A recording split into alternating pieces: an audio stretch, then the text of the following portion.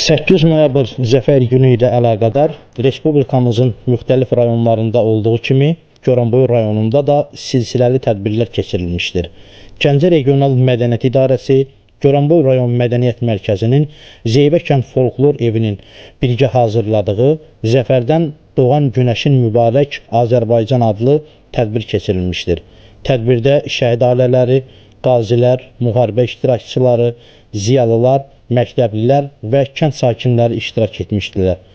Tədbirdə ilk öncə torpaqlarımızın azadlıq uğrunda canlarından keçərək şəhid olmuş igid oğullarımızın əziz xatirəsi bir dəqiqəlik sükutla yad edilmişdir.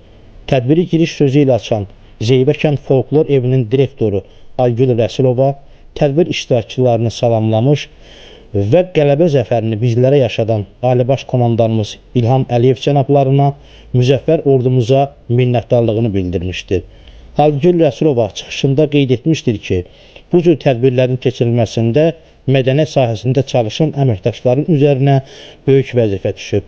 Daha sonra tədbirdə iştirak edən hərbiçi baş leytenant Şahin Səfərov 44 günlük vətən müharibəsinin uğurundan danışdı qətiyyətli ordumuzun gücünü bütün dünya bildi və ordumuzun müzəffər ailə baş komandanımızın dəmir yumruğun ətrafında sıx birləşərək biz düşmənlərin tapdağında olan torpaqlarımızı azad etdik və azadlığımıza qovuşduq.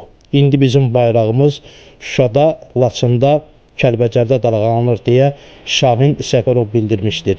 İctimai fəal Elçin Tağıyev bu zəfər qələbəsində xalq ordu birliyinin güclüyündən və onların prezidentimizin ətrafında sıx birləşərək Cənab Ali Baş komandanın səsinə səs vermələrindən danışdı.